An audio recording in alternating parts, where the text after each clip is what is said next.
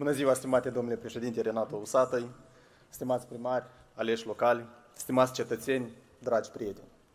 Așa cum a menționat și domnul președinte, am avut onoarea să muncesc în calitate de funcționar public mai bine de 14 ani, dintre care aproape 10 ani am fost funcționar în cadrul Comisiei Electorale Centrale, am ajuns până să dețin și funcția de secretar al acestei instituții.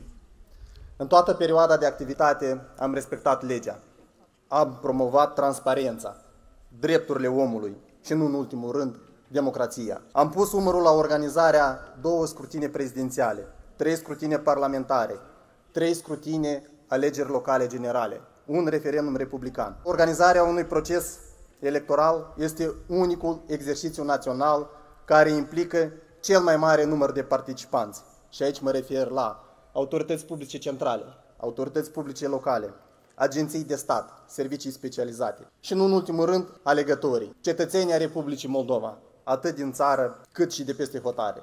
Stimați cetățeni, am ales să fac parte din echipa domnului Renato Usatăi, fiindcă ne aflăm la începutul unui drum important pentru viitorul țării noastre. Un drum pe care îl vor parcurge împreună cu hotărâre și convingere. Este un moment crucial pentru Moldova, un moment în care avem șansa de a alege un viitor mai bun, de a aduce în fruntea țării un lider vizionar, pregătit să asculte și să acționeze în interesul fiecărui cetățean. Una din prioritățile domnului Sată este organizarea legilor parlamentare anticipate. Vă asigur că le vom organiza în strictă conformitate cu prevederile legale, transparent și echidistant. Vor fi respectate drepturile tuturor subiecților electorale, candidați, alegători. Nu vor fi tolerate abuzuri și încălcări ale legislației.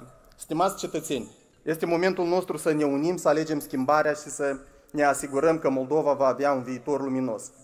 Alegeți pentru voi, pentru familiile voastre, pentru viitorul acestei țări. Votați cu încredere Renato Usatăi, un președinte pentru Moldova.